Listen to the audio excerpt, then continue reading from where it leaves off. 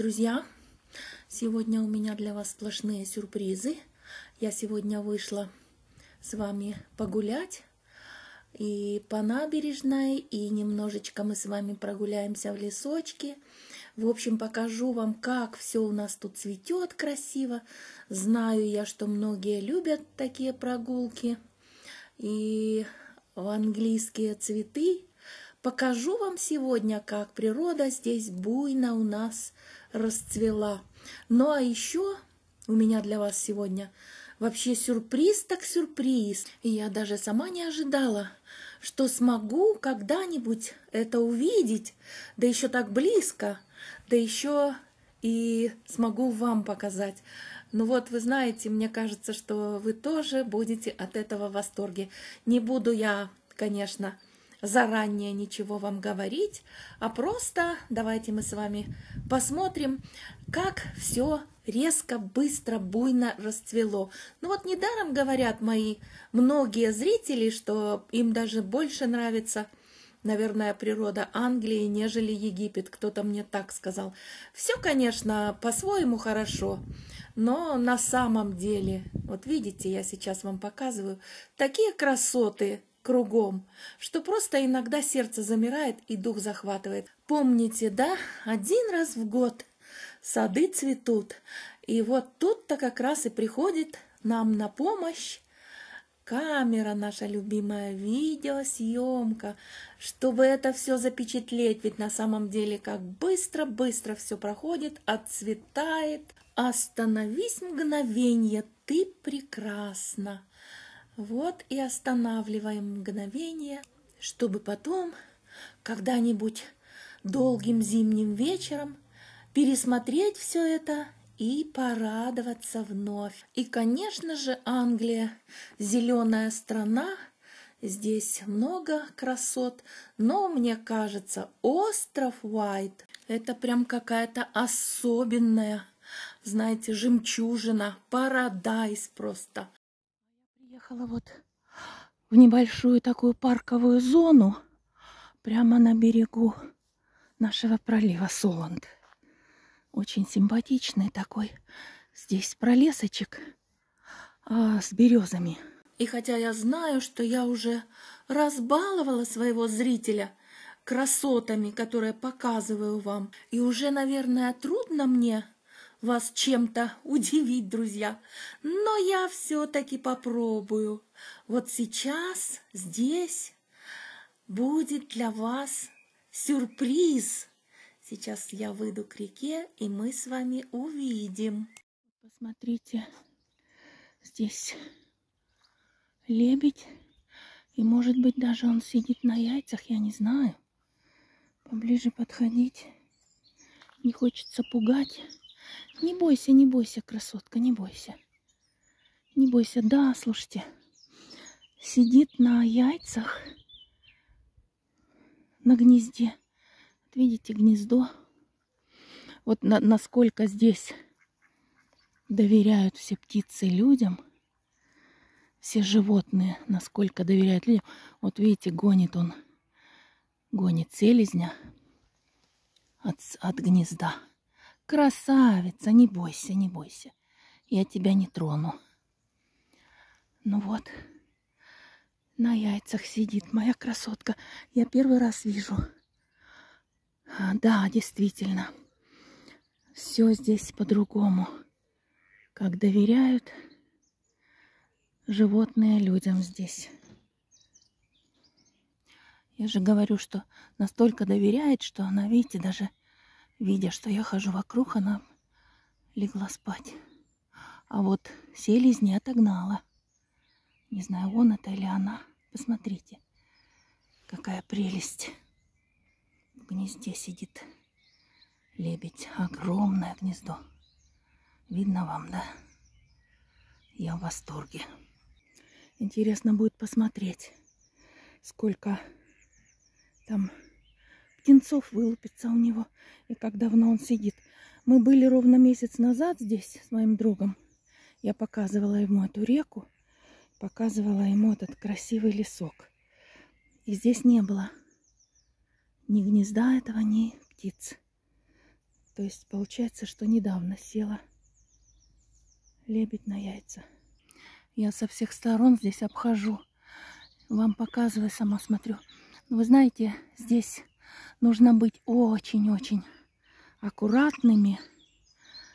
Вот сейчас покажу вам его пару этого лебедя. Вот у нас как мало лебедей осталось.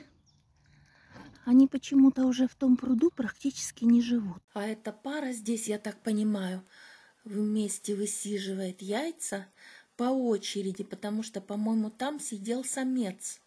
А вот эта маленькая самочка, и она здесь быстренько, быстренько, быстренько кушает. Перерыв у нее, перерыв на обед. И потом они, наверное, опять поменяются в гнезде. Они должны здесь следить очень внимательно и за своим потомством, и за яйцами. Потому что здесь, э, в этом лесу, я видела, лисы бегают. Вот, по-моему, здесь даже норы лисьи, видите? Может быть, даже и кроличьи, но лисы здесь тоже есть. А еще есть барсуки. Барсуки, наверное, не едят на этих птиц. А вот лисы-то уж запросто. Поэтому аккуратней. Ну не прелесть ли, друзья? Все здесь настолько рядом. Цивилизацию я имею в виду. Вот на той стороне, посмотрите, видите? Там, там у нас даже отель. Небольшой, правда, отель. Ну вот, на противоположном берегу. Шум, гам, машины. Тем не менее, ну вот Иногда умиляет это все, но иногда мне кажется, как все люди заселили, что бедным животным, в общем-то, места не найти. Приходится э, поселяться рядом с человеческим жилищем. Вот видите, какие норы. Ну, здесь, похоже, нора уже старая. Да, так вот говорю, что, наверное, будет вам тоже интересно, так же, как и мне, посмотреть, когда здесь выведутся птенцы. Гадкие утята, да? И сколько их будет. Будем наблюдать, друзья. Покажу вам. А вообще, я уже давно, конечно, здесь живу, в Англии. И я немножко попривыкла к всему этому к огромному количеству птиц здесь, практически ручных. Утки, гуси, лебеди на пруду. Все ходят, даже не обращая внимания на то, что люди здесь рядом бегают. Ну, собак, конечно, боятся. Вот, потом поразило меня, сколько много здесь кроликов. Вот не зайцев, а именно кроликов. Они здесь были завезены на наш остров конечно же, искусственно завезены и потом расплодились. Недаром говорят, что как кролики, да, размножаются. И расплодились в огромных количествах, и сейчас бегают практически везде. Кролики серые. Если кто давно смотрит мой канал, то я много раз показывала этих серых кроликов. Но кролики все-таки боязливые, в отличие от других животных. А вот лисы выходят тоже к жилью человеческому. У нас жила лисичка, выходила ночью и тявкала. Они так смешно тявкают. Тявкала под окном. Я ей выносила покушать. Потом мне соседи так меня наругали, сказали, что вы что привечаете, зачем, нельзя, да что вы. А он был такой маленький, худой, лопоухий лисенок. Ну вот, пришлось мне свою кормежку закончить. Ну, а еще выдры, эти водяные, внутри, да, водяные крысы тоже здесь. Они дикие. А, встречаются бобры, но очень редко. У нас, по-моему, здесь на острове я не видела бобров. А вот барсуки, белки, красные белочки, рыжие. Здесь очень много. Ну и красота ведь, правда?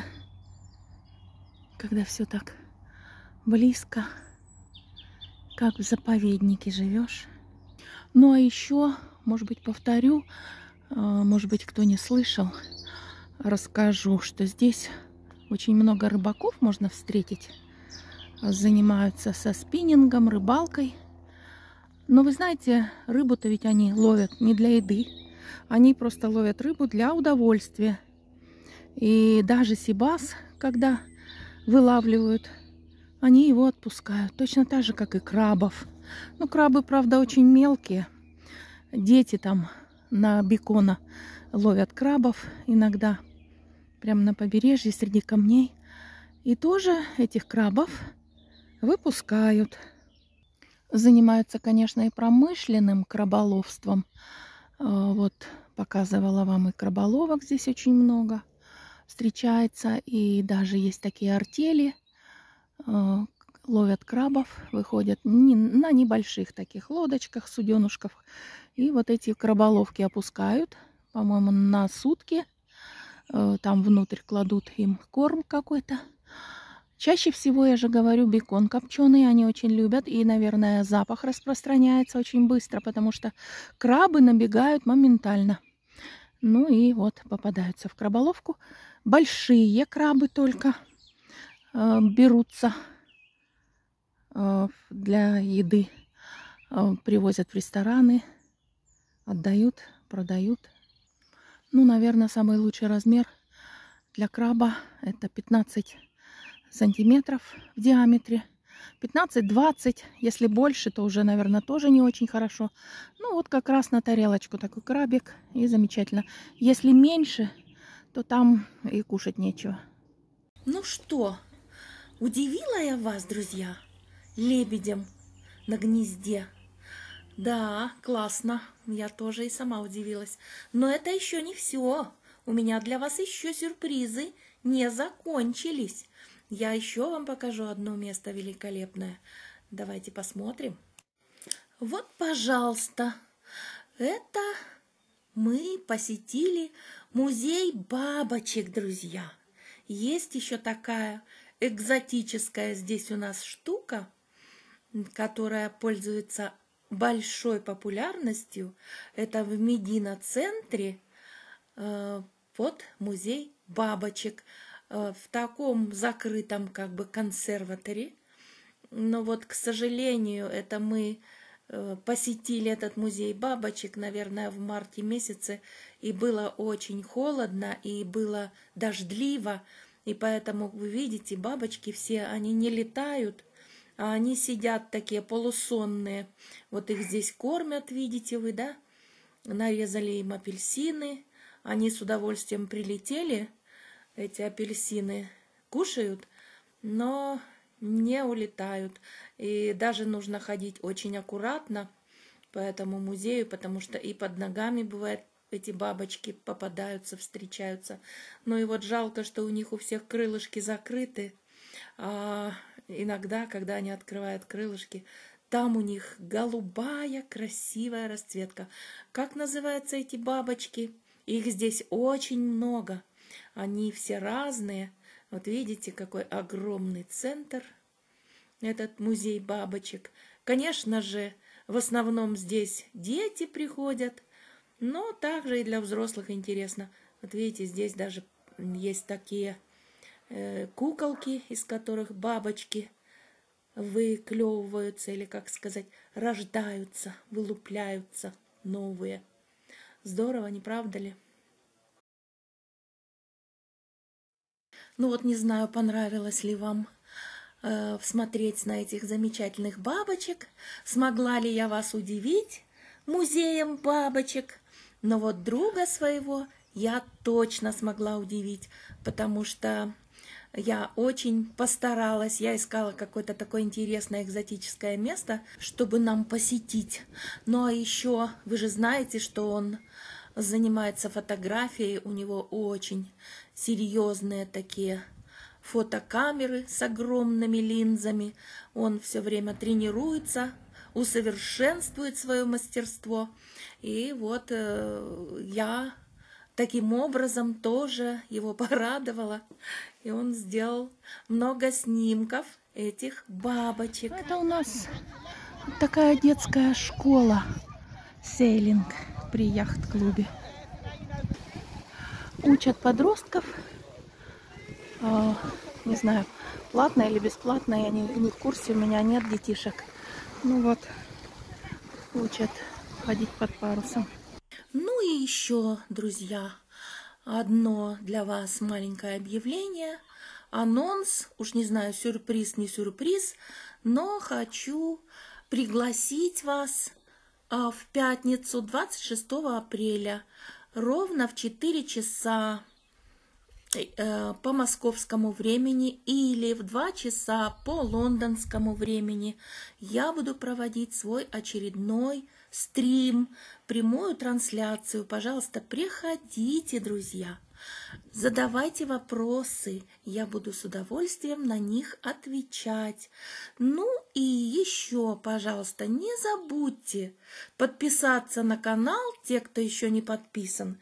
Не забудьте поставить лайк этому видео, потому что без этого у меня нет стимула, знаете, как-то стараться для вас дальше работать. А на этом, друзья, у меня все. Всего вам доброго, берегите себя, всем удачи, всем пока-пока.